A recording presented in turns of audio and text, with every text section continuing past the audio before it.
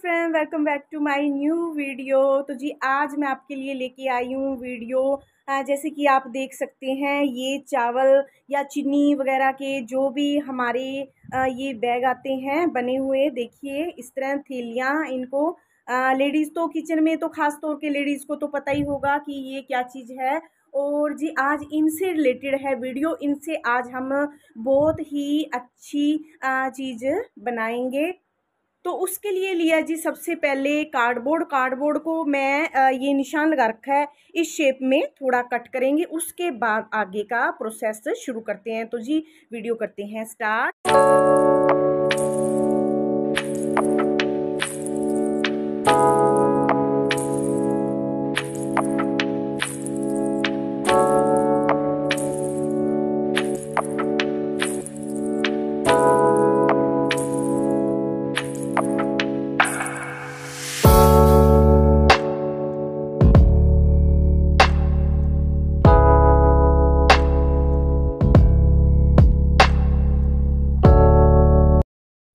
जी गत्ता हमने आ, काट लिया है ऐसे एग शेप में।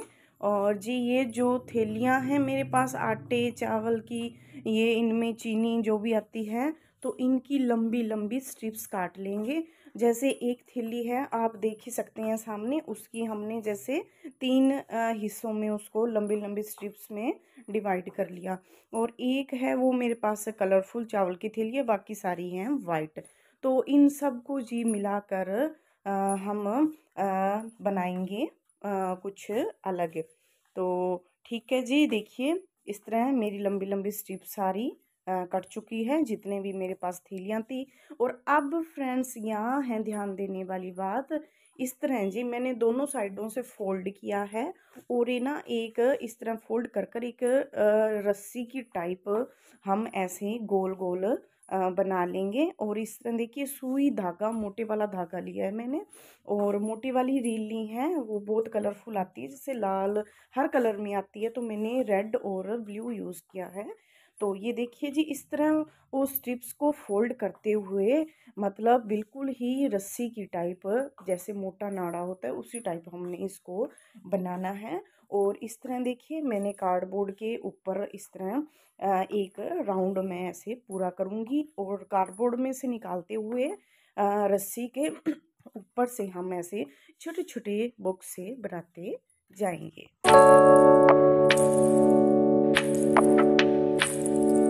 Bye.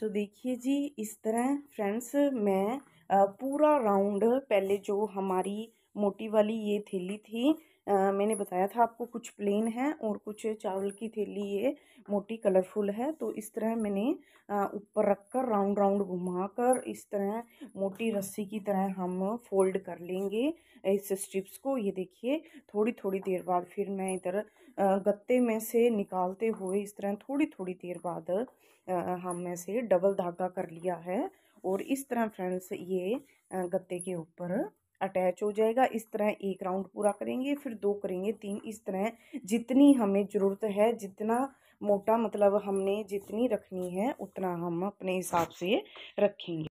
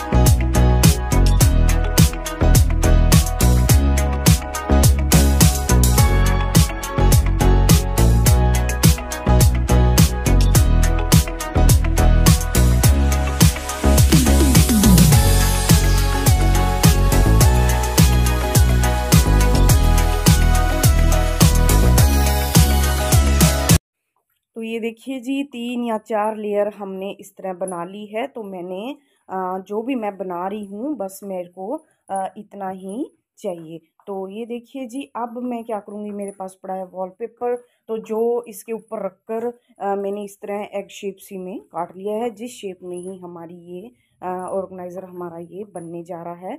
तो ये देखिए, इस तरह काट कर इसको चाहो तो सिंपली रख लो या फिर फेविकोल वगैरह से ग्लू गन से अटैच कर लो। तो ये देखिए जी, कितना अच्छा लग रहा है बनने के बाद। और इस तरह ये जो थैलियों के, जो बैगों के हमने काटे हैं, उनके ऊपर से जो पकड़ने वाले हैं हैंड तो वो मैंने उसी टाइप के ही ऐसे लगा दिए। तो देखिए जी फाइनली हमारी बन चुकी है। फ्रूट बास्केट इसमें आप जो मर्ज़ी चाहो लगा सकते हो। और मैंने थोड़ा सा कलर करने की भी वो करी है पर मुझे आ, कलर सही नहीं लग रहा था। वैसे आप कलर भी एक्रेलिक कर सकते हैं जैसे छोटे छोटे बॉक्स में कोई रेड बना दी ग्रीन बना दी इस तरह। तो फ्रेंड्स देखिए हमारी फ्रूट बास्केट ज़ीरो पोस्ट में बन गई है जो कि थेलियाँ हमारी घर में आती है। बिल्कुल वेस्ट होती है।